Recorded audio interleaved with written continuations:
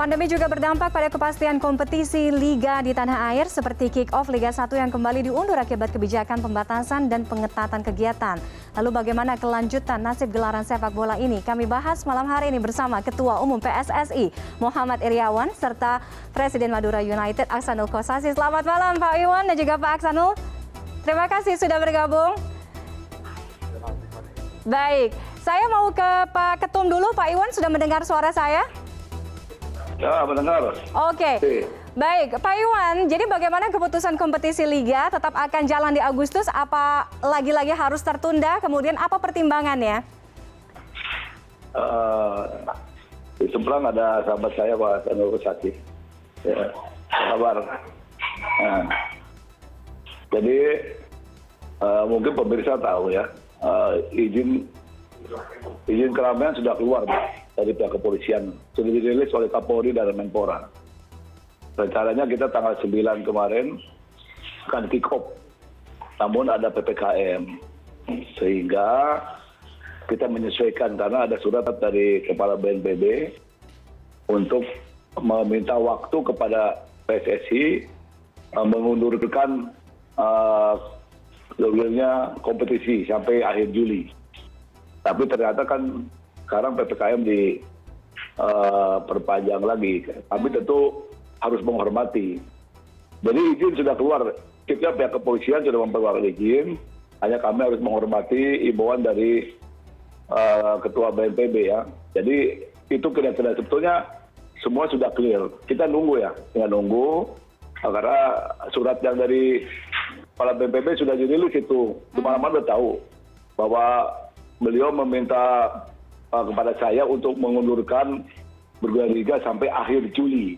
Tapi ternyata sekarang kan PPKM juga diperpanjang. Yang kita harus ikut ya, hmm. karena memang ini kebijakan pemerintah. Tapi perlu diketahui kalau izin keramaian sudah dikeluarkan oleh pihak kepolisian. Oke. Okay. Nah, menuju ke izin keramaian itu ada pasilnya. Kita minta rekomendasi dari Menpora, kemudian dari kepala bnpb satgas covid dalam hal ini. Kemudian dari kementerian kesehatan. Itu sudah kita lalui dan terakhir izin keramaian keluar oleh polri. Namun di tengah perjalanan ada ada gelombang tsunami kedua covid yaitu yang menjadi cukup besar. Uh, terbit ppkm kami diberikan surat oleh uh, satgas covid ketua bnpb untuk uh, dengan hormat untuk memundurkan kompetisi liga tersebut dimulai. Ya kita tunggu, tunggu. Tapi yang jelas semua sudah oke semua. Izin sudah keluar. Pihak kepolisian sudah komunikasi dengan kami kemarin Pak Asop. Bahkan kami sudah menandatangani uh, perjanjian kerjasama dengan beliau dengan pihak Mabes Polri bahwa uh, Mabes Polri masih on the track izin tetap dikeluarkan.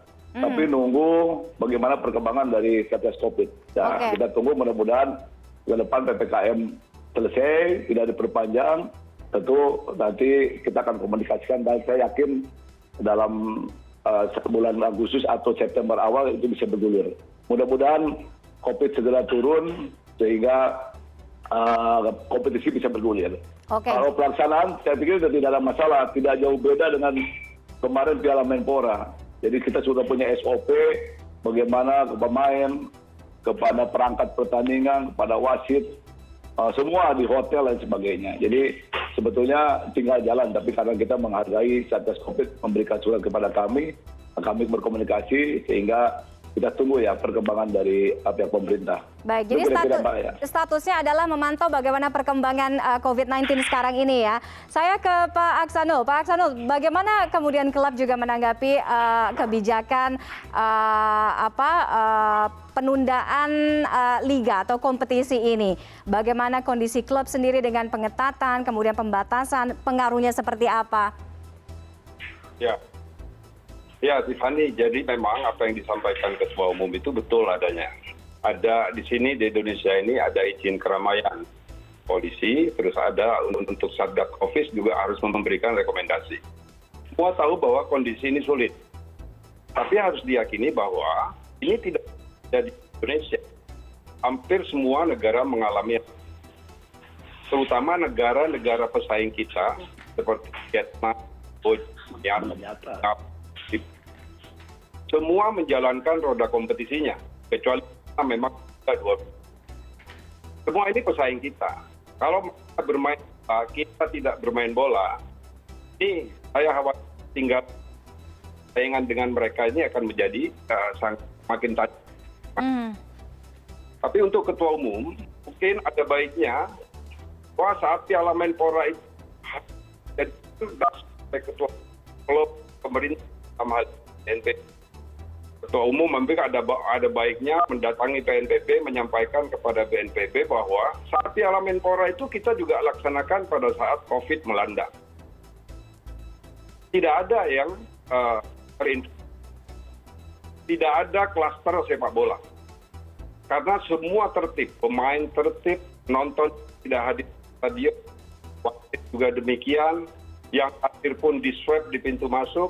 Nah hal-hal ini mungkin PSSI menyampaikan ini kepada BNPB meyakinkan mereka bahwa kita melakukan uh, pihak orang itu semua tidak ada yang terinfeksi pemain kemudian yang yang paling penting adalah ternyata tidak ada kluster sepak bola. Oke. Nah, itu bawa data ini Oke. ke ke BNPB menyampaikan kepada beliau memperhatikan kan data hal itu. Baik, baik. Kita bisa agar kita eh, hanya saja kita tidak bermain bola atau berlatih. Kita jangankan bermain sekarang, berlatih pun kan tidak bisa. Baik, Pak Sanul. Dengan uh, kamboja myanmar singapura filipina apalagi malaysia nih kemarin jalan dengan gitu ya saya ingin kita bisa jalan Oke, uh, Pak Pak Iwan boleh sedikit menanggapi uh, terkait dengan mungkin solusi ideal gitu. Apakah juga memungkinkan bagaimana nantinya teman-teman atau uh, para pemain ini bisa bisa berkompetisi karena memang banyak sekali kesusahan uh, perihal latihan tadi di lapangan uh, dan sebagainya. Solusi ideal kalaupun nanti bisa kompetisi ini tetap berjalan atau dilanjutkan. Ya, uh, solusinya tentunya kami harus komunikasi lagi. Kami tunggu dulu. Suratnya kan kita akomodir. Apa Ganip itu kan junior saya baik sama saya. Kalau sampai nggak enak sampai telepon bang mohon maaf. Kami bukan sampai begitu gitu. Jadi surat juga ya kita tahu lah. Tentunya kami setelah ini akan melakukan itu. Tentunya kami juga akan nanti komunikasi dengan Bung Reksonya PPKM Pak Luhut dalam ini. Saya akan juga ketemu beliau ya saya tahu harus harus jalan sepak bola. Hmm. kesian pemain kesian pelatih dalam sepak bola. Uh, padahal tidak ada klaster sepak bola kemarin. Kita sudah jaga betul ya mulai dari uh, dari hotel berangkat perjalanan masuk di swab lagi. Semua yang masuk. Kemarin kebetulan Pak Sanul nggak nonton. Semua Kapolri pun kita swab Pak. Saya nggak enak Pak Menpora swab. Jadi kalau protokol kesehatan sudah luar biasa lah. Kita cukup bangga mempunyai teman teman stakeholder sepak bola bisa melaksanakan pertandingan di saat covid. Hmm. jadi kami tentu akan berkomunikasi lagi. Kami akan tagih ke Pak Ganip. Ini sudah akhir Juli deh. Yang mana Pak Ganip harus main. Nggak enak sama negara lain. Uh, Thailand Vietnam, Malaysia sudah jalan. Habis kita nanti kalau tidak kompetisi. Mm -hmm. Siap pemain juga tidak bisa. Meningkatkan performa, tidak bisa menghidupi keluarganya pak sanul tahu lah bagaimana sulitnya itu uh, klub itu kasihan gitu jadi uh, tentunya harapan kami nanti apa yang kami sampaikan ini tentunya pemerintah akan merespon lah bagaimana kesulitan kami federasi juga untuk teman-teman di sepak bola. Setelah ini kami akan tagih karena janjinya memang tanggal 28 setelah akhir Juli lah kira-kira gitu. Dia akan tagih ke Pak Ganip. Tolong, eh, keluarkan lah gitu. Oke. Pak Sanul bisa bantu juga Mas Janit uh, kepala BNPB Satgas Covid ya. Baik, Pak Pak Pak Pak Sanul, Pak Sanul, uh, terakhir uh, sebelum sebelum saya tutup, uh, uh, ini masih masih terus diupayakan. Artinya uh, uh, dari Federasi PSSI melalui Pak Ketum pun juga masih optimistis ya, uh, walaupun ya lagi-lagi harus dipantau bagaimana uh, pandeminya ini seperti apa ke depannya. Nah, tapi apa yang harus disiapkan atau skenario terburuk apa mungkin yang disiapkan oleh klub? Uh, karena ini menyangkut klub, pemain, pelatih, staff dan banyak uh, di sana. Ya, memang kita harus siap dengan skenario terburuk sampai sampai dengan September kita bisa. Kemudian kita memutar kompetisi di bulan Oktober, saya pasti uh, itu penuhi. Nah, ada PON, ada game, ada peraturan Asia, Pak. Ya, mungkin yang memang rasanya tidak akan cukup bagi kita untuk memutar kompetisi. Kecuali kalau kompetisi seperti yang Malaysia, kita putar uh, hanya setengah saja tanpa sekali. Mungkin. Nah, uh, PSSI juga harus siapkan, menyiapkan video terbuka kalau ini jalan. Oke. Okay.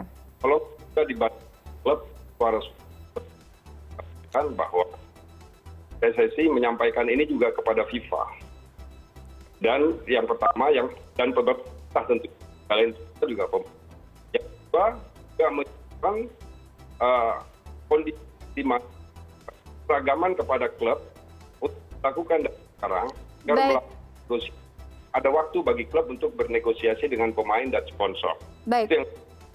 Baik, Pak Asanul. Nah, main ini harus gaji tapi besarannya berapa? Kalau toh ini kompetisi tidak bisa jalan besarannya berapa? Tolong pssi harus uh, menyeragamkan ini. Baik. berapa besar ini? Kita harus tetap menghormati kontrak Baik, sarannya akan ditampung oleh federasi, oleh PSSI. Saat ini sudah ada Pak Ketum. Eh, Bapak-bapak, saya ingin berdialog lebih panjang lagi, tapi durasi kita sangat terbatas. Mudah-mudahan uh, saran ditampung dari klub dan juga ada ada solusi yang terbaik ya bagi bagi federasi atau bagi uh, apa uh, industri sepak bola tanah air kita saat ini. Terima kasih Pak Iwan dan juga Pak Sanul. Kalau bisa datang ke BNPB gitu melakukan presentasi, sampaikan data-data sepak bola nggak ada klaster. Baik, mudah-mudahan dijamin tidak ada klaster di sepak bola ya. Terima kasih Bapak-bapak. Selamat malam, salam sehat selalu.